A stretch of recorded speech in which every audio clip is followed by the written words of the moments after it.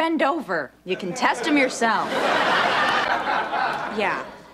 We are so weak willed as a family or as a nation that will follow any do gooder crusader who can't wait to tell us how to live our lives. Whatever happened to the America that minded its own business?